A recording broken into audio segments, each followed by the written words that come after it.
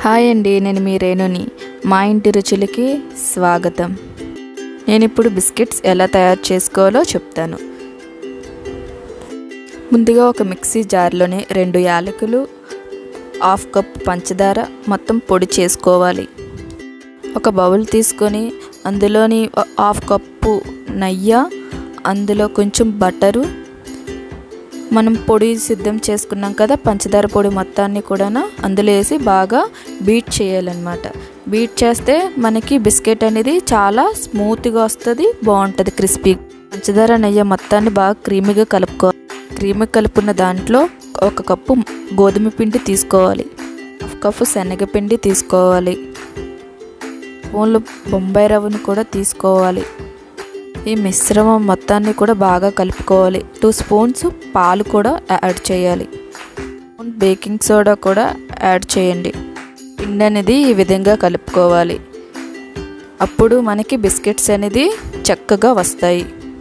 ఇప్పుడు కుక్కర్ తీసుకొని దాంట్లో స్టాండ్ పెట్టి ఒక ఫైవ్ మినిట్స్ మూత పెట్టి ఉంచాలి. ప్లేట్ తీసుకొని నెయ్యి అప్లై చేయాలి. కొంచెం మందంగా ఉండాలి ప్లేటు. చిన్న చిన్న బాల్స్లో ఇలా చేసుకొని ఇలాగా ఫ్రెష్ చేసుకుంటే బిస్కెట్స్ అనేవి బాగా కుక్ అవుతాయి.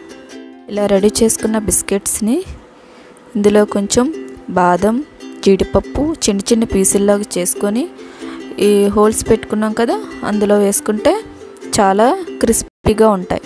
రెడీ చేసుకున్న బిస్కెట్స్ని కుక్కర్లో పెట్టుకోవాలి. బిస్కెటర్ తీసేసి మూత పెట్టాలి.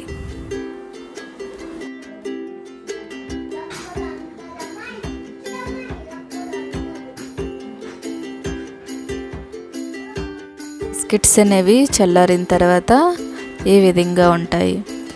చూడండి. ఎంత టేస్టీగా ఎంతో క్రిస్పీగా చక్కగా ఇలాగే ఉంటాయి బిస్కెట్స్ అనేవి. కూడా బిస్కెట్స్ అనేవి ఇలా తయారు చేసుకోండి. తయారు చేసుకొని కామెంట్ చేయండి. For watching can comment and share subscribe thanks for watching